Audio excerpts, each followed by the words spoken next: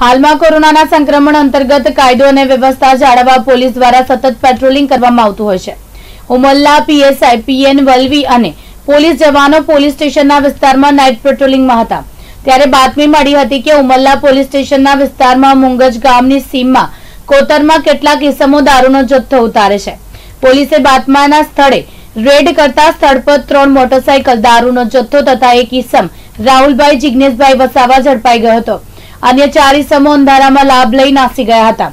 પોલીસે આ રેડ દરમિયાન મણિયારા કોથળાઓમાં રાખેલ ભારતીય બનાવટના વિદેશી દારૂની કુલ ચારસો એક બોટલો કબજે કરી હતી. તેમજ ત્રણ મોટરસાયકલ મળી કુલ રૂપિયા એક લાખથી વધુનો મુદ્દામાલ કબજે કર્યો છે.